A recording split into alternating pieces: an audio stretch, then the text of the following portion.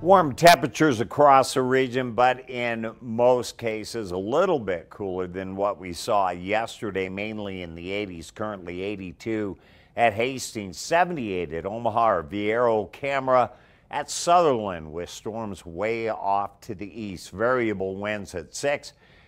83 degrees right now, 63% humidity. That is high for this time of day. A pretty muggy day going on. The barometer is dropping at this hour. So there they are, those cooler readings, but it feels warmer with high humidities.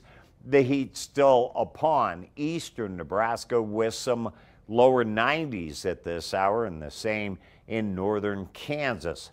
Temperature wise, things warm up by tomorrow in the upper 80s and then for the 4th, uh, even warmer yet. Storms, some of those brought some very heavy rains to the Grand Island, Merrick, and also Hamilton County area earlier. One to two inches of rain fell in a short amount of time, and so a urban stream advisory, flood advisory, has been issued for parts of those counties until 8:15 tonight. Southern Grand Island received some pretty heavy rains with this system, and storms do continue at this hour.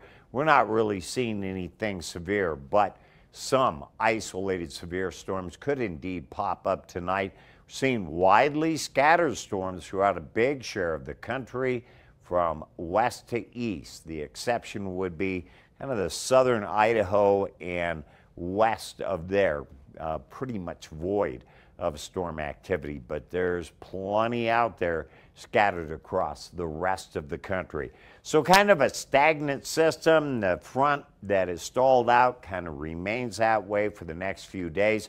Finally, a cold front will push in by Friday night. As it does so, it will trigger off more storms. Storm chances are slight. Still, the isolated possibility here for the next couple of days. In the meantime, Pretty fair chances tonight, 68 to low, 88 tomorrow, and lesser chances, 68 tomorrow night as we see light winds.